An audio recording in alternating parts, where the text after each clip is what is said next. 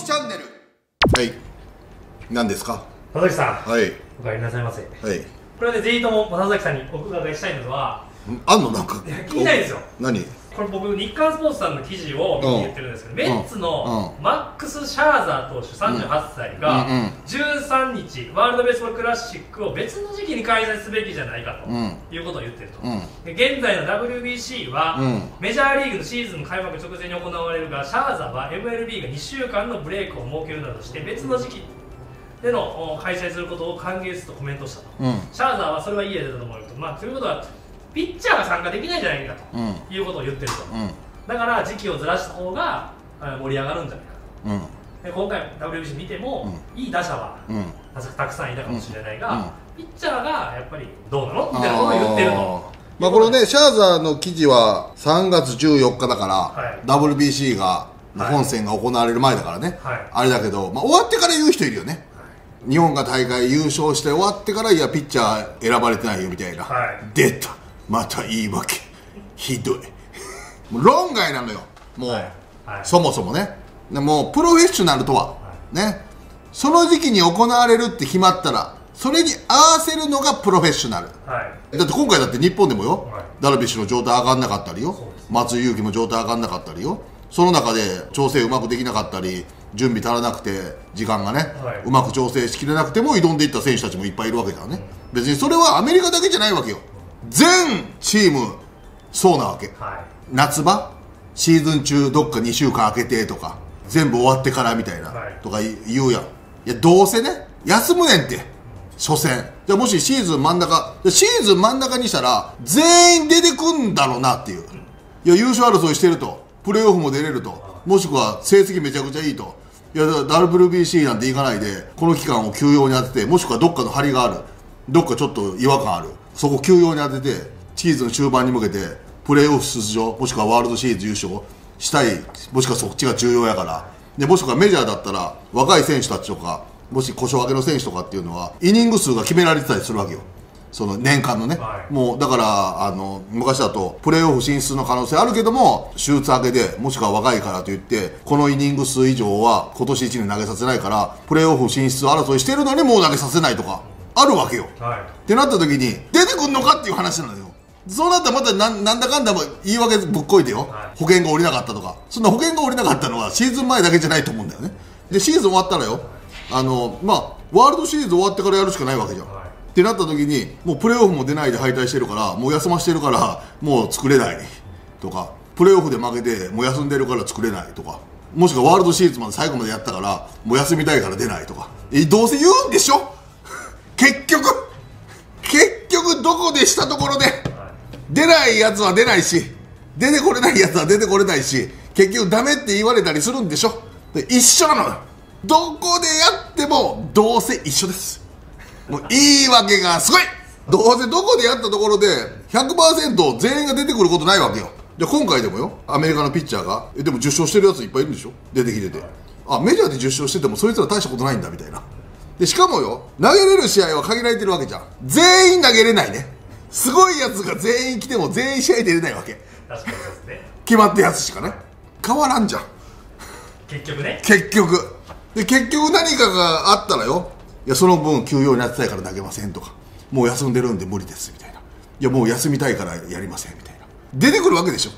しかもそのシーズン中とかだったら結局はそのチームの状況によって出せませんとかなるわけでしょ一緒っす結局。どこでやったって。はい。一緒っすどうせなんだかんだ言って出れないやつは出れないから一緒っすと思わへん？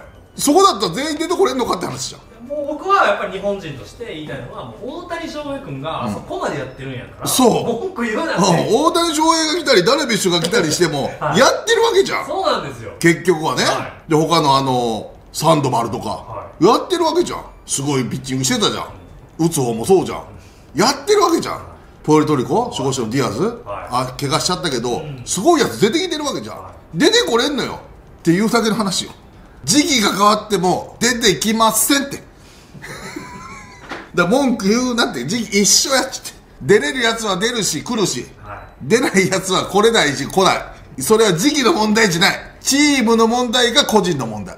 でもよ今回でもメッツのリンドアはい。プエルトリコ代表、うん。ね、そのチームメイト、ディアスがね、左膝の故障ね、あったけども、エドウィンの怪我にはすごく落胆し落胆しているけど、はい。次の WBC もプエルトリコ代表で100%出ると、国を代表して戦えるのはありがたいことだと、名誉だし、特権と生きると。で誰も怪我はしたくないがみんな国を愛してるし代表になりたいと。しかも国の仲間からいろいろ学ぶこともできる。WBC に出たところで体の状態もいいしよりいい選手になれたと。唯一無二の経験だと。はいワールドシリーズと WBC のタイトルどちらが欲しいかと聞かれた時に、はい。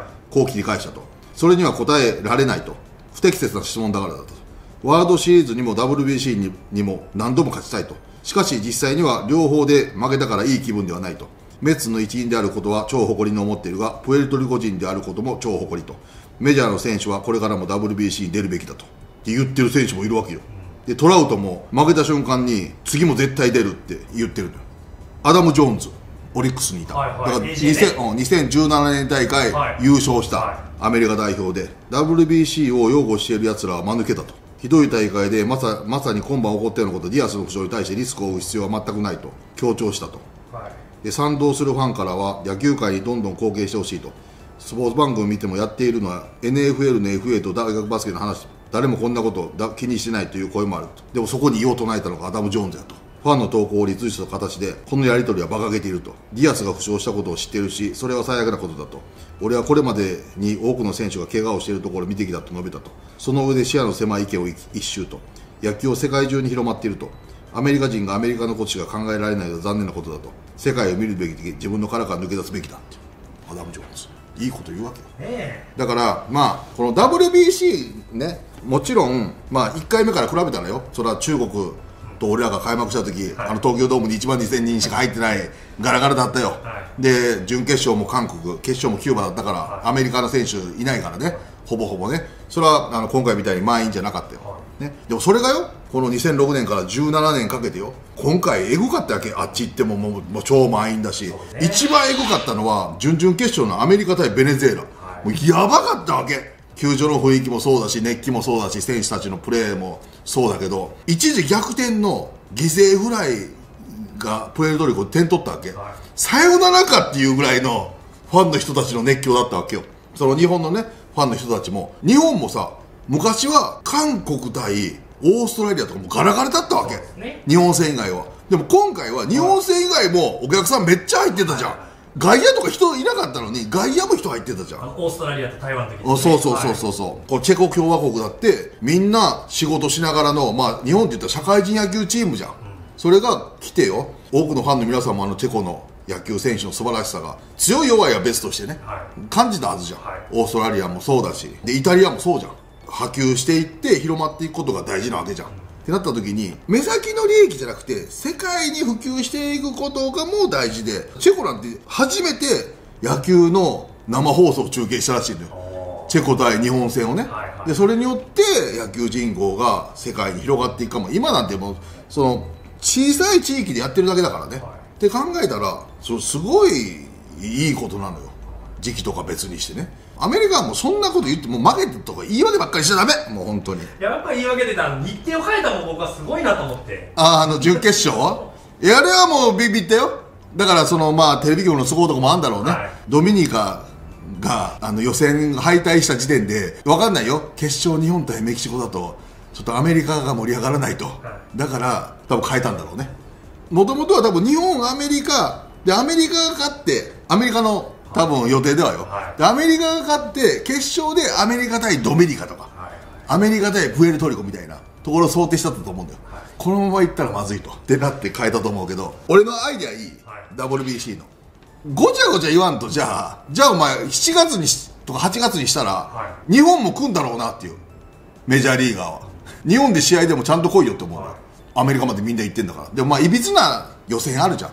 だからもうベスト4は A グループでシードだ今回だと日本キューバアメリカメキシコ、はい。でこの4つのベスト4に入った国が予選を自分たちの国で戦ってもいい権利を取るわけ。はいはいはい。その主催権を、はでそれは売ってもいいのよ。はい。やりたいとこ売りますよと、はい。そうしたら自分たちのとこでやんないけどお金が入ってきてそれをその国の野球振興にも使えると。だからベスト4が A グループ。B グループが準々決勝で負けたチームだから今回だとベネズエラでプエルトリコでイタリアオーストラリアが B グループ。予選3位のチームが C グループ。4位のチームが D グループ。で一番最後になったチームは予選から。他のねまたドイツとかスペインとかタイとかそういうところのの予選からして入ってこれてでそれを抽選。面白くない？で今回だったら日本は日本開催権持ってるわけよ。キューバアメリカでメキシコ開催権持ってて自国で開催できるっていう。でそれで抽選して A ポット。で B ポット、はい。ベネズエライタリアオーストラリアプエルトリコか。こうなっていったらいいよね。でもしいやキューバちょっとうちじゃ無理なんでアメリカさん主催権買えませんか？いや買えます。何十億みたいな。それをまだねね野球振興に当てれるから主催権は売れるみたいにしてはいはい。でやっていけばばらけていいんちゃう？だからもし主催権欲しかったらベスト4に入んなきゃいけないし。だからメジャーリーガーもじゃあ夏にしたらちゃんとまあ日本までとかアメリカでやんなきゃいけませんとか言い出さないやろなみたいな。大谷翔平出さないとか言い出したらね。本当本当だよお前。言いそうじゃないですか。言いそう言いそう。ダメダメとか言って。うん今回日本の日本にすごい活躍したじゃないですか。うんだったらもうにあこれ以上日本強かったら困るから大谷翔平ちょっと止めろと。そうなっていくとね。はい。いいよねまあオリンピックがなくなってしまってるじゃないですか。うんだからやっぱ寂しいなって野球ファンは。でもオリンピックメジャーリーガー出ないからね。そうまあそうですよね。だからそれだったらもうオリンピックははい。アンダー24とかサッカーと同じようにはいはい。アンダー24にしてみたいなね。にしないと出ないからねメジャーリーガーそれだったらもう日本もアマチュア主導で行ってもいいんちゃうかって俺は思うんだよね。社会人とか大学生とかで。別にプロが参加しなくてもみたいな。はい。もう本当負けたらちょこちょこ言い出すよね逆に聞きたいもう。いつだったら全員ちゃんと出れんだよっていう。それかもうもっと思いっきって言ったら開幕ずらした方がいいんちゃうかと思うのよ。要は4月の2週間今ぐらいから3月末から4月の2週目ぐらいで WBC どうやってはいはい。そしたらもう仕上げてきてるやろっていう。ちょっと開幕ずらせばいいんちゃうかっていう。間に休むっていうより。それの方が俺一番すっきりするんちゃうかと思うんだよね何しても絶対文句言われるんで。うん、そうそうそうそう。だからもう勝ちゃいいんだよ。もう何どんな時期にしてももう勝つしかないんだよ。それに合わせてそれがプロフェッショナルじゃはんね。でもこれで日本3回アメリカ1回ドミニカ共和国1回だから。今回の日本の優勝は良かった。気持ちいいね。本当。あとあれやめてほしいよね俺。メジャーリーガーが何人でレベルを測ろうとする人たちいやそれ日本は FA とかの問題でいけないだけでフリーでいけたら半分ぐらいメジャーリーガーだからね。少なくとも。ピッチャーなんて下手したら全員メジャーリーガーだよ。いはい。しかもメジャーリーガーって1試合でもメジャーで出たらメジャーリーガーとか言われるやん。い。やそれちょっとちゃうやろって思うけどな。すぐ給料で並べたからね。そうそうそうそう。そう。すぐなんか何億円とかな何百億みたいな。何億打線とかね。うん言われるけどな。憧れもやめてほしいですよね。うんそうそうそうそうそうそうそう。メジャーリーグはすごいけどね世界からの選抜だからねメジャーリーグはね。まあでもよかったね世界一になれて。野球が盛り上がったら嬉しいですね、なんか韓国とかも日本と試合をしようみたいなのもうん、そうそうそうそう。そうだからこれでどんどんね波及していってね、世界的にもっとねまあまだスタートしたばっかりだからね。これ100年後どうなっていくかだから。まあ大谷翔平選手がまだ来てくれることを祈りたいですね。次回ね。次回。あそうそうそこまあだけね。今回も大谷翔平がいるかどうかだけで視聴率倍違うと思うぞまあでもよかったね、はい。世界一になれてね。はい。はい